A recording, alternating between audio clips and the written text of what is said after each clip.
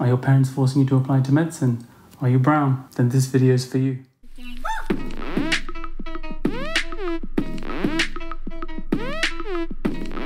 Welcome, my name is Fahad. I'm a junior doctor working in London. Let's talk about writing personal statements for medicine. I've helped a few people with their personal statements over the last 10 years or so, so I thought let's make a video. Now here's what you probably already know. You've got 4,000 characters and 47 lines to tell the bored person reading that you're unique, empathetic, compassionate, and all those good things. Now there's going to be about 20,000 of you or so trying to say that. Most of you are going to get the grades, will have done all the work experience that you need to, and will have ticked all the boxes. So the way to stand out is going to be through your unique perspective and all your reflections that you've done during your work experience placements. Now you can structure your personal statement however you want. There's no right way. But for those who have no idea where to begin, this is what I'd recommend. In your first section, what you want to talk about is your motivation to do medicine. Obviously, don't say that your parents blackmailed you into applying. Now, it may have been an experience, an event, something that happened in your life. That's, you should talk about that. You should say why it made you want to do it. If you've done a degree beforehand, you should say where it fell short. What was it about that degree that actually didn't fulfill you and made you want to do medicine instead? What was your previous degree not giving you?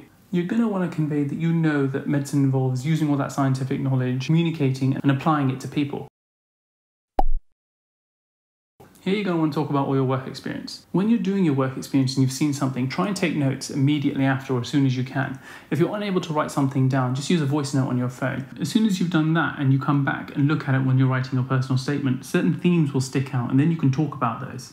When you're actually reflecting on this at the time, try and put in as much detail and describe what was going on. What did you see? Who was communicating? Was it a doctor and a patient? Was it a doctor and another doctor? What was the interaction about? Was there a particular interaction between a doctor and a patient you really liked? Was there something you didn't like? How did everything make you feel? Was there a confrontation? How did that confrontation make you feel? What did you learn from it? Is there something you would have done differently? There's so much you can talk about here. This is where you'll find some kind of unique perspective that will make you stand out from all the other candidates. In the next section, you want to talk about what makes you amazing your achievements, your extracurricular work, any sports that you play, any charity work that you do or volunteering. You want to show that you're a rounded person and not some loser with no life making YouTube videos. Finish off your personal statement with a nice short conclusion. You want to get across that you know what it takes to study medicine, the lifelong learning, the academic commitments, the emotional demands, all that good stuff. Once you've written everything and are now well over the word limit, you want it to stand out as a literature piece. Get lots of different people to read it.